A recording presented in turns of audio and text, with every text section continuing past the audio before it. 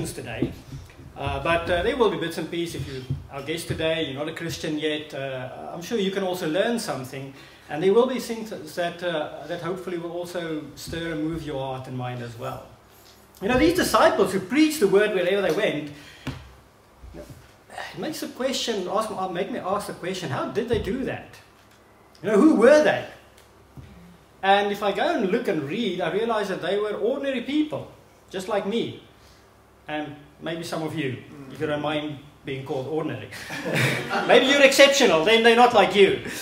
But uh, they were ordinary people. And uh, we're, in November, towards the end of the year, and if this was the, the theme, for your theme for the year, maybe you've heard a lot about it. And maybe you will hear nothing new today. And that's okay, the Bible is 2,000 years old, it's not new. And all we're actually doing is just reminders to help us to keep on track, to stay focused, and to reach the goal of our faith. So, what is the story of the, of the book of Acts, where we read this, this book in the Bible called Acts? It's a story, but it is history. It is very accurate history. Uh, but is that all it is? Is it a blueprint, as some claim it to be? It's a blueprint for your life as a Christian, or it's a blueprint for how the church must be. The book itself doesn't claim to be a blueprint. I read it and I realize it's a story of people and places. Loads of people.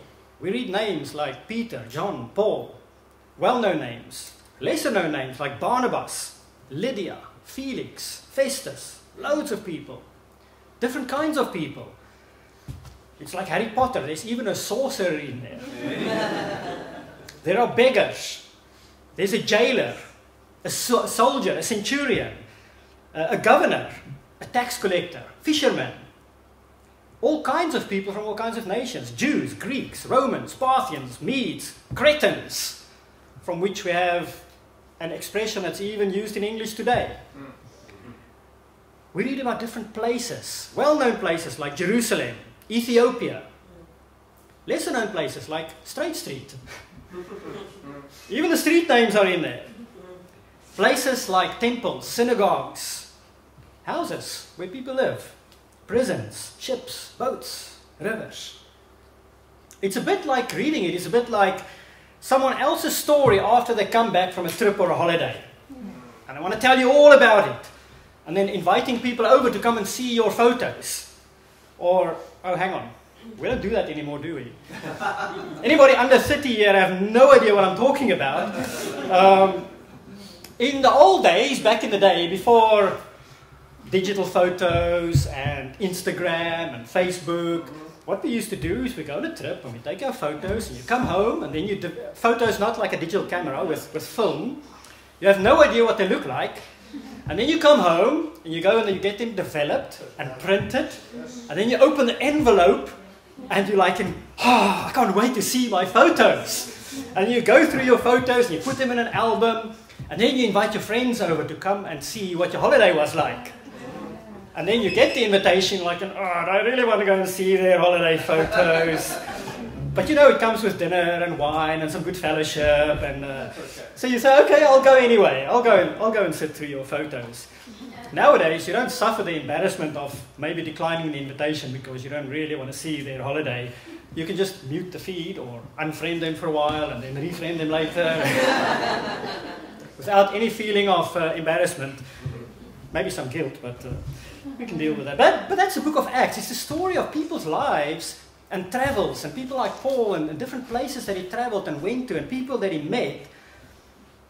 And all these events happened 2,000 years ago. The whole book of Acts spans about 32 years. And I think about it, and I think I've only been a Christian for about 24 years. And I think about what will my story and your story look like after 32 years of your Christian life? Will it be filled with memorable people and places like the book of Acts? And what will those memories be like? And when we read the book of Acts, and when you read it again, I want to encourage you to think about this is not just their story, it is not just history. But it is our story. It is my story. It is your story. So let's go back. Know, when we think about stories like this, it's good to remember where it started. Remember where, as a Christian, where you started. Jesus appeared to the disciples after his resurrection. And in Acts 1, verse 7, he said to them, It is not for you to know the times or dates the Father has set by his own authority. But you will receive power when the Holy Spirit comes on you, and you will be my witnesses in Jerusalem and in all Judea and Samaria and to the ends of the earth. This is the beginning of our story. And if you're a Christian, it's the beginning of your story, it's the beginning of my story. A story where Jesus says, you know what? Wherever life takes you, whatever happens, you have no idea what's going to happen in your life. You may go to places that you've never been to or never expected to go. And then he says, but whatever happens, stay focused on the mission because you will be my witness. And that's mostly what I want to talk about today, is talking about staying focused on your mission. Are there any football fans here? Football like in soccer? Very few. Oh, it sounds like I'm in good company. I'm, i thought like, okay, many people are going to raise their hands and I'm the only one not, but I'm safe then. So, so we're going to watch a little video clip um, of something that, an event that happened during the Football World Cup with uh, a group of men watching, I'm not sure which game it was in the World Cup. It was something like quarter-final or semi-final, and there was a penalty shootout, and it was at that moment. So if you can't relate to football, you know, just imagine, like if you're Malcolm, imagine it's the fifth test of the Ashes. You level at two games each. It's day five of the deciding test. Any other cricket lovers in here? Oh, yeah. Okay, well, a few more who can relate. I can relate to it. You know, it's day five of the deciding test. The last session, light is fading. England is ever so close to victory, and you're sitting there watching this moment. Or maybe you think, like, what is that all about? Maybe you're watching MasterChef. It's the last one, the last episode. They finished, they, they, they're close to finishing, they're ready for judging, and you're sitting there for the moment. Okay, who's going to be the Master Chef? Or maybe it's the apprentice, and you're sitting there wondering who's the last one who's going to get fired. It's that moment where you are nailed, to your eyes are so nailed to the, to the screen. Or maybe it's something else. Maybe it's the big reveal on Love It or List It, and you just want to see how this new renovated house looks. Or the big garden makeover, or whatever glues your eyes to that little screen. So these men are in a fire station, and uh, do we have sound? Sound is not that important, but uh, and uh, and they're watching the Croatian team in the World Cup taking this penalty.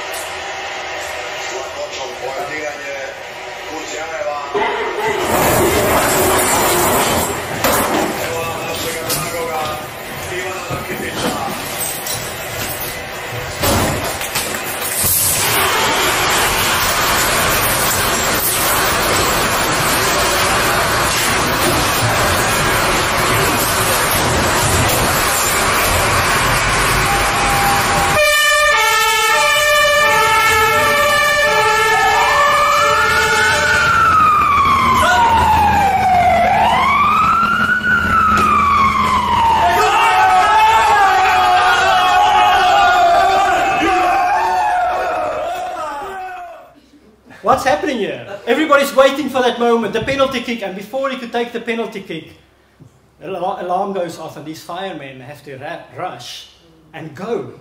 Why? Because people needed saving. There was a fire somewhere. They were focused on their mission. And there was a temporary distraction and something that maybe took their attention away, and it looked like they were all very focused on this moment. But that moment wasn't nearly as big as the mission that they were on, which is to go and save people's lives. You know, whatever life challenges we go through, whatever life challenges you may be going through, I'm going through a pretty challenging time in my life right now. Um, I'll share about that later in, if you want to talk to me in the fellowship. It's, uh, the details are not important. Uh, and this is not the first time in my life. All of us, when we face life challenges, when, when things are difficult, it is important as disciples that we remember there are people to be saved. that that is our life mission. And that is the story of all the people and the places in this book of Acts. It's not just a story of Paul going on his holidays to different islands, to the lovely island of uh, Crete and to the lovely island of Cyprus, all you know, sunny holidays, uh, traveling with uh, whatever budget airline. he, he, went, he went to those places in very challenging situations, in prison sometimes, in hunger, sometimes in beatings. But this whole story is a story of people and places to save or be saved. A quick run through uh, some scriptures here in Acts. I'm, just, I'm not going to read all of them in detail, but all of them talk about salvation. In Acts 2, it says, Everyone who calls on the name of the Lord will be saved. In verse 40, save yourselves. In verse 47, those who were being saved. Are, this is talking about thousands of people from all over the world gathered in Jerusalem. In uh, 4 verse 12, it talks about we must be saved. A paralyzed beggar in Jerusalem. In Acts 11:14, you and your household will be saved. This is Cornelius, a centurion in Caesarea. In Acts uh, 13:26, this message of salvation has been sent. And in Acts 13:47, uh, you may bring salvation to the ends of the earth. This is in the synagogue, Paul, in the synagogue in Pisidian Antioch. In Acts 16 17, a slave girl in Philippi shouting, These men are servants of the Most High God who are telling you the way to be saved. Acts 16:30. A jailer in Philippi. Sirs, what must I do to be saved? They replied, Believe in the Lord Jesus, and you will be saved, you and your household. Acts 28 28. Paul in jail in Rome. I want you to know that God's salvation has been sent to the Gentiles, and they will listen. You know, as we go about life, we also go to places, we meet people. It may not be Antioch, Jerusalem, Rome, all these places. It may not be in a jail. It may not be on a ship. We meet people. We go to places. And maybe you think about your life and think, where do I go? I don't know. It's just regular, boring, you know, the commute from home to work and back, and home to work and back, and then go do the grocery shopping and and we may think it's all just incidental or accidental or regular and boring. The story of the book of the Acts is that everything that God is in control of is actually deliberate and expected. Right in the beginning, when Jesus said, You will be my witnesses, he says, You know what? The times and the places are not for you to know. But know this, you will be my witnesses. I don't believe in coincidence. That, oh, I happened to meet someone at this place. Guess who I bumped into? I only believe in God incidents. You know, in this whole story of where we go, the, the, places we go, the people we meet, like in the story of Acts, as Christians, we can and we need to learn how to save people. And we can and need to get better at it. Maybe you're here today and you are not a Christian. Then please don't tune out. Then you are the one that actually needs to be saved. And that may sound strange to you, like, what? Saved? Saved from what? Speak to the person who invited you and you will explain it from the Bible. What does it mean? We're going to look at some principles. I want to share some principles about how do we save people? How can we get better at saving people? But these principles, even if you're not a Christian, are actually very good and will help you in life, in relationships, in your career, and so on. The first one is, I want to share with you, is five C's for saving. And those five C's are compelled, convinced, contact, connect, and courage. And they're kind of in sequence as well. Compelled. Compelled by what? Compelled by love. I'm going to mention a lot of scriptures. If you want the notes afterwards, you, are welcome. I can email it to you. You can. I have one copy. You can take my copy. Um, but uh, if you want to, you're not going to keep up with me as I go through the different uh, chapters and verses. So I'll just mention it to you. In Corinthians, 2 Corinthians 5:14, Paul says, "For Christ's love compels us for a ministry of reconciliation." That is the first step for us to have the heart to save people is we need to be and must be compelled by love. Yes, there's an element of obedience because there's an instruction that Jesus said, go and make disciples, go and baptize them, save them. But love and obedience go hand in hand like this. Obedience is motivated by love. Obedience is made easy by love. And obedience is not burdensome if we're compelled by love. It is very hard to live out the ministry of reconciliation if you're not doing it out of love and if you're living for yourself. There was a rich young man who wanted to be saved. He went to Jesus and said, How can I be saved? And Jesus looked at him and loved him. Jesus loved the lost. And our love for Jesus must also result in a love for the lost. You know, if you're a Christian and you're baptized, you are here because someone loved you. True. I am here because someone loved me and loved me enough to reach out to me and present the gospel to me. I am here because someone loved me enough to persevere with me. In fact, to persevere with me for uh, more than a year. It's someone I worked with, and I went to at the time, I lived in a town called Pretoria in South Africa, and I had an hour commute to work, at least, sometimes an hour and a half, sometimes two hours. I worked with him in Johannesburg. So I had this commute five days a week. He invited me to church in Johannesburg. I went once. I said, Look, I do this commute five days a week. I'm not going to do it another day during the week. I went once, I loved it. I said, Thank you, I enjoyed it, but it's too far. But I'm going to move closer. And when I move closer, maybe I'll come again. So uh, we kind of, we moved on to different projects. And about a year later, about nine, ten months later, I actually moved closer. And I moved a Saturday, during the day. Saturday evening, I get a phone call from him. He says, hey Stefan, how are you doing? I says, oh, Alex, yeah, just moved today. He says, I know, I remember. That's why I'm calling. I said, what do you mean? He says, remember you said when you move closer you'll come to church again? I was like, really? That was like in 10 months ago. he loved me enough to remember. And that started my journey to becoming a disciple, to get to know Jesus. You know, someone, in my case Alex, he was willing to love me, to obey. He was compelled by love enough to deny himself um, to persevere with me in a time when I was a completely different person.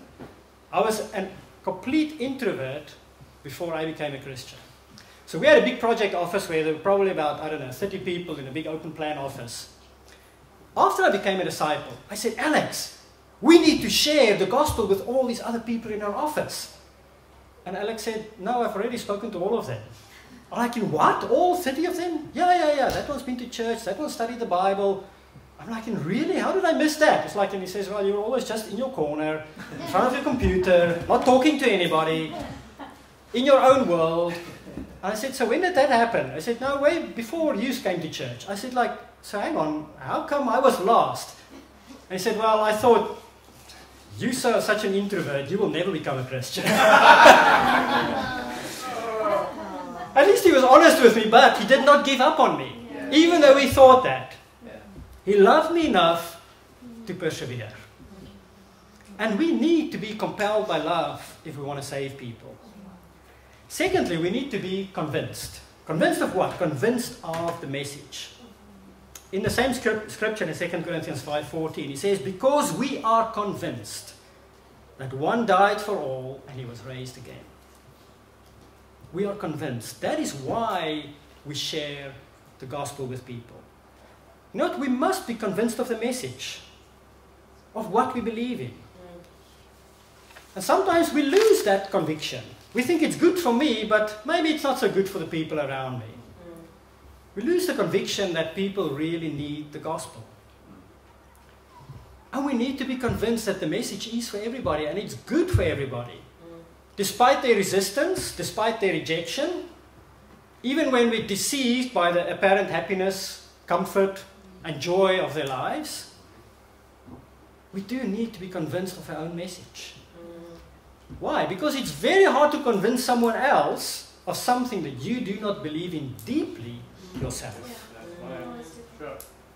And sometimes, you know, when we look at people's lives, we feel like, okay, let me just finish my Christian life and stay faithful and I'll be okay because I don't know about, I'm not so sure anymore of, you know, what the message is. Mm. We need to be convinced of the full gospel of Christ. Mm. I'll come back to that a bit more at the last point of courage. Once we are compelled by love, once we are convinced of the message, then the next thing is to just simply make contact. Contact with a soul. You know, that's what it says in Acts. The, the, disciples, they preached the word everywhere they went. Contact with who? With people. Whether they believe or whether they don't believe. We do need to make contact with people. Without contact with people, there's no opportunity to give them a choice to believe or not to believe. It is not up to us to prejudge who might be open, who might be receptive, who might not be because often we are surprised, as Alex was. As uh, in March this year, uh, some in our family group was. We, uh, we went out on the streets in London as, as we do. Some people thought, uh, when, I, when I moved to London, I said, hey, let's go and share our faith in the streets. And some people were like, what, do you still do that? It's like, well, that's what I see in the Bible, so I do it. So we went out on the street, we shared our faith, we talked to people, people about Jesus, and there was this one guy, Steve, that uh, Akin, who's Akin uh, Oyesolo, who's in my group, he met him and invited him, and he said, uh, yeah, okay, I'll be there. And uh, afterwards, we, we met up and, you know, you share, like, who were the people that we met? So he was sharing about Steve. He said, oh, I met this guy called Steve. I said, oh, great, okay, what did he say? He said, he said I'll be there. I said, great, uh, did you get his number? He said, no, no, that's not necessary. I said, oh, okay. Uh, and I said, did you give him your number? He said, no, that's not necessary.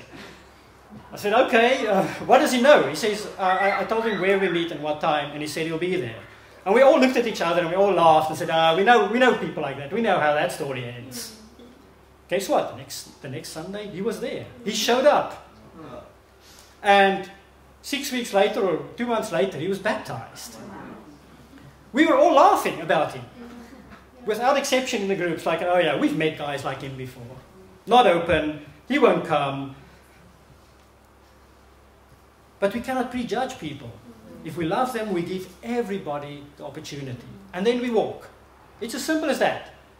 We make contact and then we walk. And there's two ways you walk. Those who reject the message, you walk away from them and you shake the dust off your feet. And those who accept the message, you walk with them all the way to Jesus. It's all about people. We need to make contact with people. Where? Where do we meet people? Where do we make contact with people? Well, in places, all kinds of places. Where did the disciples in Acts make contact with people? If you read through Acts, in Acts 5, we see in the temple courts, we see from house to house, we see wherever they went, we see in the synagogues, we see in the marketplace, we see in the governor's palace, we see in jails. It is literally everywhere. As they were walking on the road, on a ship, on an island, around the fire, around the campfire. You know, as disciples, we cannot and we should not live our lives in boxes. Where I've got my church box, and I've got my work box, and I've got my if you're a parent with children, I've got my school box where I go and meet the teachers and other parents, and I've got my sports club box and my gym box, and, and they're all in separate boxes, and we don't mix them up. As disciples, we should have a heart that says, you know what, the gospel is for everyone, everywhere. And some of those situations are more challenging than others to reach out to people and to share your faith. And with some of them, we need to train ourselves. You know, I started off as an introvert, not talking to people. I had to train myself just to talk to people. How would I do that? I would be somewhere, say in a shop, and I would just turn around in the queue at the cashier and say hello to the person behind me or the person in front of me. And say, say something silly. You know what? Oh, how are you doing? How's your shopping? Oh, look at these prices. Oh, uh, you've got a good bargain there. How much was that? Silly things, nothing to do with the gospel or with God, just to train myself to contact, to make contact with people. Just to get the confidence to talk to people that I don't know from anywhere. If we compel by love, those are the kinds of things we do so we can make contact with people. So we can build relationships. But once we've made contact, then next we need to connect. Because contact is simply just breaking the ice. But to connect goes to the heart, where we need to go beyond that first contact, the shallow talk about the weather and about football and cricket and rugby and school kids and uh, politics and whatever, Brexit and whatever other things people, people talk about. It means that we care about people. We take an interest in their lives. We connect with the heart and not just with a mind, not just with a person, a soul. Jesus connected in a great way with people, in an amazing way. He met a man with leprosy. He was moved with compassion. He reached out his hand and he touched the man, something that nobody ever did for that man because he was untouchable. We connect with people when we have compassion on them, when we have compassion on their life distress, when we take an interest in their lives. What's going on in your life? Rather than what's the weather like tomorrow. We connect when we have social time with people. Jesus went and he had dinner at the tax collector's house. Um, and he was eating with sinners and tax collectors. He was even accused of that. It's like, oh, this Jesus guy, man, he's eating with those people, prostitutes, tax collectors, greedy people. We connect when we have a social time, a meal and a drink together. It's amazing the impact it has on people's lives. There's a couple that came to church in the northwest region where we're from uh, a few months ago. They came along on a Sunday, and some of, a couple of the disciples just invited them over for dinner. And we would probably think nothing of that as, if, you're a, if you're a disciple. A few Sundays later, I had a chat to, to, uh, to, to, to the woman who came, and she said, You know what? She was so excited. She said, You know what? I went back to work that Monday, and I said, you, you, you won't know, you won't guess what happened to me this Sunday. I went to a new church, and guess what? I was invited to dinner on the very first Sunday. And then she said, and my colleague said, No, that can't be. That's impossible. People don't do that. But they do, if they're disciples. And that's the heart of a disciple. So, you know, when I open my home and I have you for a meal, that gives me an opportunity to connect with you. There's something special about food that brings us together that helps us to connect with people. To have a kind of a conversation that you, that you, that you cannot have in, a, in, a, in another way. And we see that throughout the, the book of Acts as well. Um, Aquila and Priscilla met a guy called Apollo, Apollos. And what did they do? They took, them, they took him back home with him, had dinner with him, and explained the gospel to him. And he became a disciple. We connect when we serve people. In Mark it says, even the Son of Man did not come to be served, but to serve and to give his life as a ransom. Jesus connected with people because he served them. Because he was willing to go the extra mile, to go out of his way to serve people.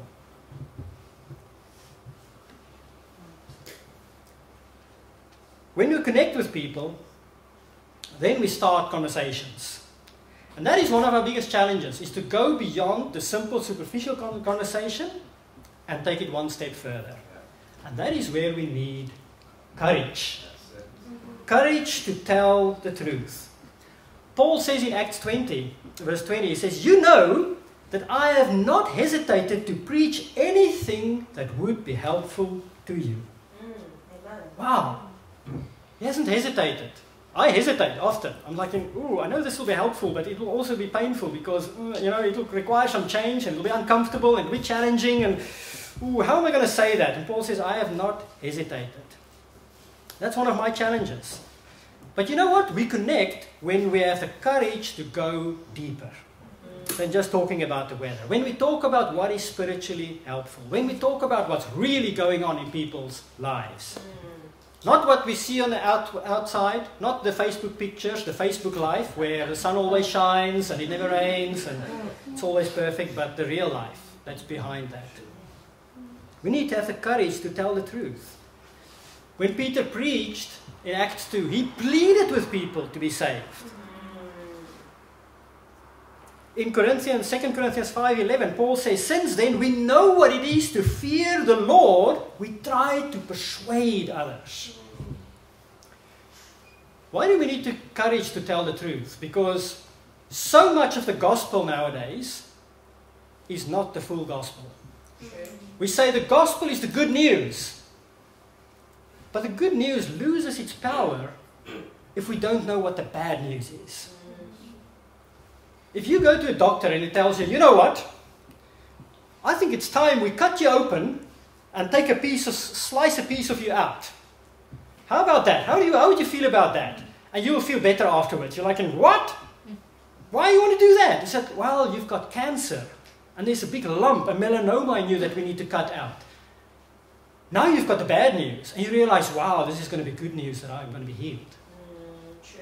Sometimes, you know, in Christianity today, unfortunately, the gospel has lost its power because it's sugar-coated with the sweet, loving, kind Jesus and God that loves everybody and that is so, so, so like a big bear that everybody just wants to hug. And the one that, the God that will save you and will save everybody and you, need, you don't need to do anything but there's another side to the gospel. If you go and study your Bible, you'll see that the gospel consists of that good message, but also the message of judgment, the message of destruction in hell. And we need the courage to tell the people the truth about that. To tell them the truth that they are lost. Because why would you want to be saved if you don't even know that you're lost? If you don't know that you're lost, you think you're fine. And that's the important part of the gospel. That's why Paul says, we know what it is to fear the Lord. That's why we try to persuade others. And that takes courage. It takes courage to speak up and persuade someone. And to make that decision to say, you know what? I'm going to say it because it's necessary to say it. In Thessalonians, Paul writes to them and he says, God is just. He will pay back trouble to those who trouble you. Now, if you're going through it, if you're being persecuted, that's kind of encouraging. It's like, don't worry, you know, Big Brother is staying there, so don't worry, I'll, I've got your back. And in verse 7 he says, And I will give relief to you who are troubled and to us as well. This will happen when the Lord Jesus is revealed from heaven in blazing fire with his powerful angels. He will punish those who do not know God and do not obey the gospel of our Lord Jesus, they will be punished with everlasting destruction and shut out from the presence of the Lord and from the glory of his might. This is a topic that is so much avoided in Christianity today. You can go and listen to YouTube sermons on all kind of motivational talks and all kinds of building things, and those are great, and we need them. But it's hard to find a sermon that just reminds people about the destruction that awaits those who disobey God. It's not a popular message. And it needs courage to convey that part of the gospel, of the good news as well. So these are five C's for saving people. We need to be compelled by love. We need to be convinced of the message. We need to make contact with people. And then we need to connect with them at a heart level. And then we need to have the courage to tell the truth. You know, there are different ways. I mentioned some of them. I'm going to very quickly go through this. Different ways to, six ways to make contact and connect with people. The first one is a simple invitation, the come and see invitation. In Acts 18, that's what Priscilla and Aquila, they met Apollos, they said, it says they invited him to their home and then explained to him the way of God more adequately. That's a way to start. The invitation to church. Will you come to church with me? It's a very simple, uh, easy invitation. It's not threatening. Uh, I spent six years in Amsterdam. It's an 80% atheist city.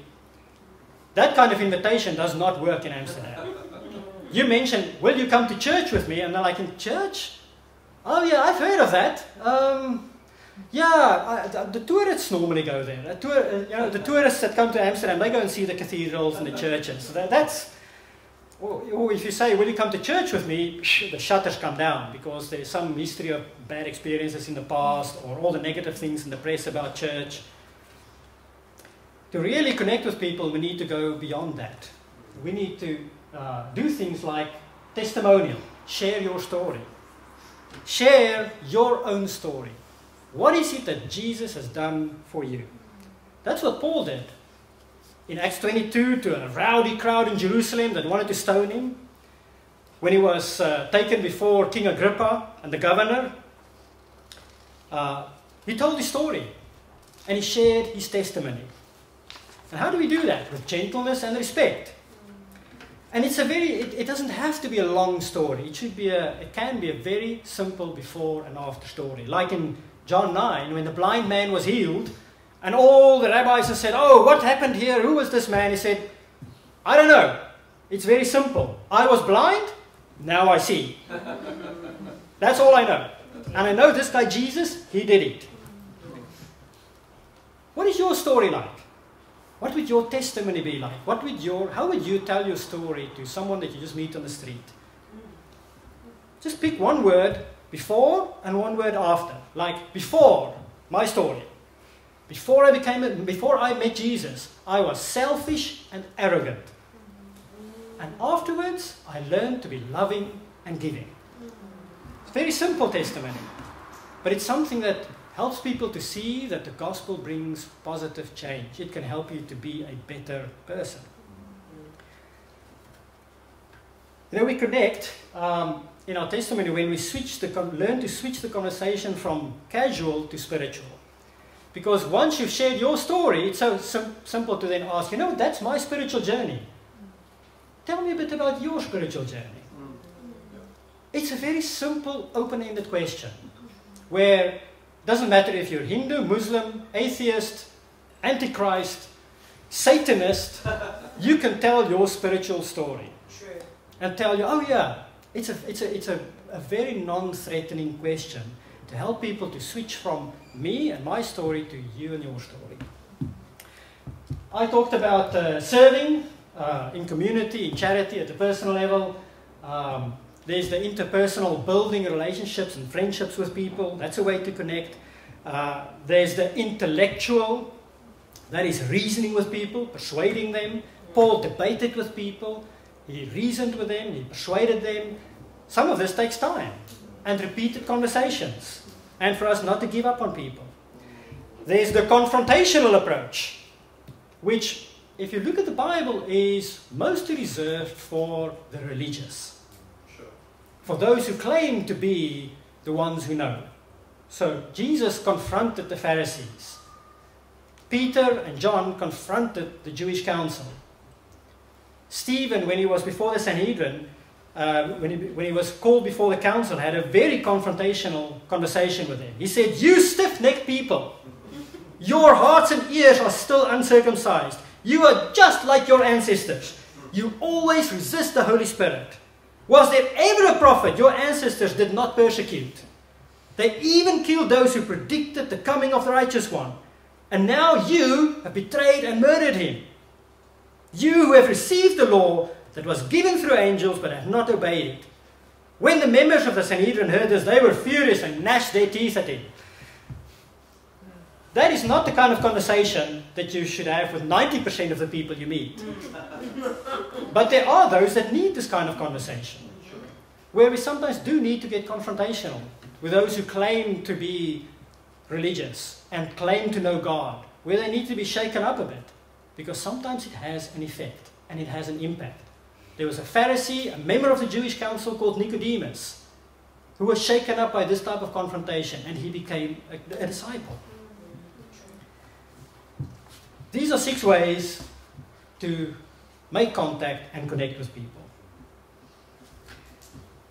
Now, this is the story of Acts. We find this, if you go and read through the book of Acts, you'll find examples of, of all of this all through the book of Acts. Back to the people I know. People you may know. In my 24 years as a disciple, some people I knew for a very short time and then they became Christians. Some people took longer. And I want to encourage you to not give up hope. This there on the left is my brother. He's uh, two years younger than I am. So he's uh, 49, and his wife. Um, 24 years ago, when I became a Christian, I reached out to my brother. Unbeknownst to me, his, uh, his best friend at university, let's call it that, it was actually his drinking buddy, but uh, his best friend at university became, also became a disciple in another part of the church, which I didn't know. I reached out to him. I said, Will you come to church with me? I thought, well, you know, I've become a Christian. It's a great church. And he's like, What church is this? And I explained to him, but he said, Is that the church that Adolf goes to? His university friend. I said, Yeah, I saw Adolf last, last Sunday. I couldn't believe it that he was also there. He's like, No, I'm not coming. Forget it. I will never come. That's 24 years ago. He was not interested. And he resisted and resisted and was never open to conversations, was not interested for 24 years. Uh, I'll make a long story very short. A year ago, he was baptized. After 24 years. Now, there are people you may know in your life and that you think I've known them for a long time. Family members, maybe friends, like Malcolm's friend, that is his school friend, mm-hmm. that is known for decades, mm-hmm. and maybe you've given up on them. But there may be people you know in your life that just need time mm-hmm. and that need your faith and your love, and you're not giving up on them for them to be saved. There are places I go. Uh, that was in Namibia. We lived eight years in Namibia. And sometimes God sends you places and you think like, God, what is going on here? Uh, Namibia was wonderful. We loved it. Um, the place I'm talking about is actually a business. I got involved in a business venture with the man on the right there, up there. His name is uh, and next to him is his wife Margaret. And uh, the picture at the right is they, where they get baptized together. I got involved in a business venture with him, which turned out to be a huge fraudulent scam. Uh, if you've heard of the Bernie Madoff thing in New York, in America, it's something to that extent and that scale. I, I basically lost my house uh, in the process. And you ask yourself the question, God, why, why am I getting involved in this? I should have hated him. I should have been very angry with him. And there were occasions where I were very angry with him. But when it ends there, then you think like, what? The money? I don't care. God sent me to do that place so someone can be saved. What places do God send you to? Where you think like, what am I doing here? This is not relevant to my Christian life. You won't know until you make the connection with the people who are there. And maybe God wants them to be saved. You know, there's a song, People and Places. People I know, places I go. Again, if you're my age, from the 90s, it's a Britpop song by a band called The Sundays. They were never really that big, but this one, this one made it into the top 15 or something. Um, the song is called Here's Where the Story Ends. And it starts off with these words People I know, places I go, make me feel tongue tied. I can see how people look down, they're on the inside. Here's where the story ends. It's a sad song of someone that's trying to make contact, to connect with people, who feels like I look at them and they are hopeless, they're not interested. You know, they look down. Nowadays, it'll be looking down at their phones. Um, and then they sing, well, here's where the story ends because, you know, there's no connection. Because they're on the inside. The writer of the song is on the inside, and those she's trying to connect to is on the inside as well. Whether you are on the inside or you're on the outside, don't let your story end there. Don't be like this where you say, here's where the story ends. Because the story doesn't end there. If you're not a Christian, your story is still being written. Start looking outside. There's a story that God wrote for you that's waiting for you. If you are a Christian, connect with those people because some of them will be part of your story. You know, when you read the book of Acts again, you read that story. Don't just think about, oh, it's a story, it's a history, it's a story of other people and other places. I read it and I think, you know, that's my story. It's your story too. The book of Acts is a story about me and my God. It's an old story, but it's also a new story because it's alive in my life now and forever until I die. It's a story of why and how God called me, how He saved me, why and how He loves me. It's the story of everything I stand for, I believe in, I live for, I hope for, and will die for. And it's a story of God working through me to save others and to make lifelong friends. God is still writing my story of Acts, and I'm excited to be in His story with great people, interesting places. What will your story of Acts be like? There are people you know, there are places you go that should become part of you and other people's salvation story. Amen. Amen.